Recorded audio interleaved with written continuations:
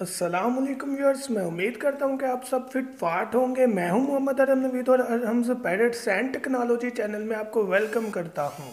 तो व्यूअर्स आज की वीडियो का टॉपिक इस चीज़ के बारे में है कि ऑस्ट्रेलियन पैरेट्स या बजिज पैरेट्स की कौन कौन सी नस्लें हैं, उनकी म्यूटेशंस कौन कौन सी हैं, या किस किस नस्ल में ये पैरेट्स पाए जाते हैं। तो अपना टॉपिक स्टार्ट करने से पहले आपसे रिक्वेस्ट है कि मेरे चैनल को सब्सक्राइब करें और वीडियो को लाइक करें। अगर ये वीडियो आपको पसंद आए, या कोई भी क्वेश्चन करना हो, आप मुझे कॉमेंट कर सकते हैं या फेसबुक पर भी कॉन्टैक्ट कर सकते हैं। तो व्यूअर्स अपने टॉपिक की तरफ़ आते हैं।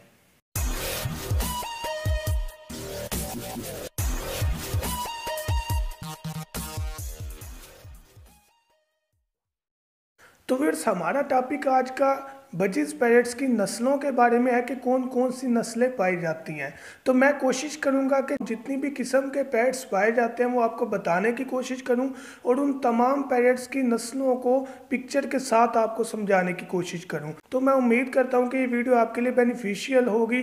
काइंडली वीडियो को कंप्लीट देखेगा ताकि मुकम्मल गाइडलाइन आपको मिल सके। तो व्यूअर्स जो सबसे पहली नस्ल है ऑस्ट्रेलियन पैरेट्स या बजीज पैरेट्स में, वो बजरी तोते हैं, जो कि दो ही रंग में पाए जाते हैं, एक ग्रीन और एक ब्लू यानी कि एक सबज रंग में और एक नीले रंग में। ये दो कलर ही पाए जाते हैं, जैसा कि मैं आपको पिक्चर में दिखा रहा हूँ। ये देखें, ये ग्रीन कलर में है और ये जो आपको पिक्चर दिखा रहा हूँ, ये ब्लू कलर में है। तो व्यूअर्स जो आप पिक्चर में देख रहे हैं कि दोनों बजरी जो तोते हैं, ये मुकम्मल ग्रीन कलर में है या मुकम्मल जो है ब्लू कलर में है। लेकिन इनके पड़ों के ऊपर डॉट्स बने हुए हैं। इनके पड़ों के ऊपर सर्कल नमा ब्लैक धब्बे बने हुए हैं, काले धब्बे बने हुए हैं। आँखें इनकी ब्लैक होते हैं तो ये बजरी जंगली तोते कहलाए जाते हैं। तो याद रखिएगा, जो बजरी तोते हैं, वो दो रंग में पाए जाते हैं, ग्रीन और ब्लू। सबज और नीले रंग में, और वो प्योर कलर होता है, मुकम्मल उनका एक ही रंग होता है, और पड़ों के ऊपर काले धब्बे पड़े होते हैं। अब बात करते हैं दूसरी जो नस्ल है, उसके बारे में। तो व्यूअर्स जो दूसरी नस्ल है वो पाइड के बारे में है। अब पाइड किस रंग में होते हैं? जैसा कि आप पिक्चर में देख रहे हैं कि पाइड जितने भी हैं वो दो से तीन रंग में पाए जाते हैं, यानी मिक्सचर ऑफ़ कलर्स कलर का मिक्सचर होता है उनके अंदर। कहीं पर ग्रीन कलर का सर्कल होगा, सबज कलर का दायरा बना होगा। कहीं पर स्पॉट जो है वो ब्लू कलर का हो सकता है, यानी कि दो तीन कलर का मिक्सचर हो तो वो पाइड कहलाते हैं। लेकिन अगर आइस की तरफ़ आए, अगर तो आइस ब्लैक है, लेकिन उसमें अडल्ट की बात करूँ ब्लैक है और उसमें वाइट सर्कल है तो आपने याद रखना है कि सिंपल पाइड है। अगर तो आप पाइड का कोई ऐसा पैरेट बाय करें जिसकी आइज़ के अंदर वाइट रिंग नहीं है, सफ़ेद सर्कल नहीं है तो आपने समझ लेना है कि अर्ली पाइड है। ये पाइड सिर्फ़ नहीं है, ये अर्ली पाइड है। तो याद रखिएगा, जो दूसरी नस्ल है, वो पाइड के बारे में जो कि कलर्स का मिक्सचर होता है। अब बात करते हैं तीसरी नस्ल की, जो कि रेड आई के बारे में है। तो व्यूअर्स रेड आई हमें नाम ही ज़ाहिर कर रहा है कि सुरख आँखों वाला। यानी कि जो भी पैरेट सिंपल कलर में होगा कोई डॉट स्पॉट नहीं होगा इनके पड़ों के ऊपर।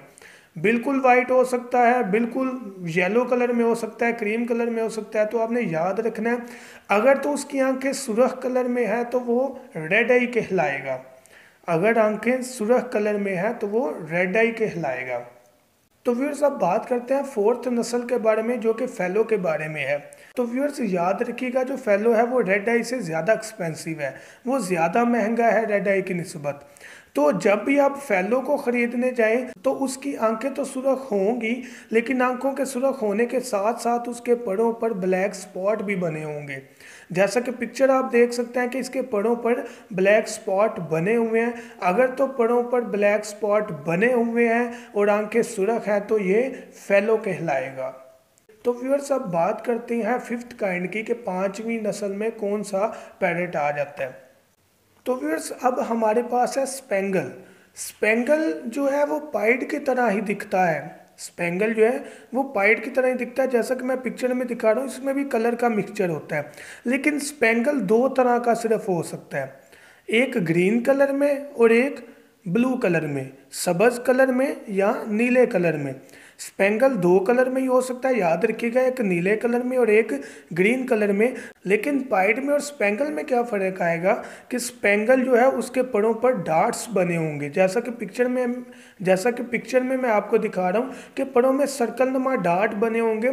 अगर तो पड़ों में डार्ट हैं और पाइड नमा है कि मिक्सचर ऑफ़ कलर है, लेकिन दो कलर में, ग्रीन और ब्लू, सबज और नीले कलर में है और पड़ों पर डार्ट्स हैं तो आपने समझ लेना है कि ये स्पेंगल नस्ल का परिंदा है। अब बात करते हैं सिक्स काइंड की। तो व्यूअर्स जो सिक्स नस्ल हमारे पास आती है, वो स्प्लिट के बारे में है। अब स्प्लिट में भी दो तरह के बर्ड्स पाए जाते हैं, एक लोटिनो और एक अल्बिनो अब याद रखिएगा कि लोटिनो और अल्बिनो में फ़र्क क्या है। तो व्यूअर्स जो स्प्लिट अल्बिनो है, वो वाइट कलर में पाया जाता है और जो स्प्लिट लोटिनो है, वो येलो कलर यानी कि पीले कलर में पाया जाता है। अब फ़र्क क्या है? दिखते ये रेड आइज़ की तरह के ही हैं। जैसा कि रेड आइज़ भी वाइट और येलो कलर में यानी कि पीले और सफ़ेद कलर में ही पाए जाते हैं। उसी तरह स्प्लिट भी वाइट और येलो कलर में ही पाए जाते हैं। लेकिन फ़र्क क्या है कि रेड आइज़ की आइज़ जो हैं, वो सुरख होती हैं। रेड आइज़ की आँखें सुरख होती हैं, लेकिन जो स्प्लिट हैं, इनकी आँखें सुरख नहीं होती।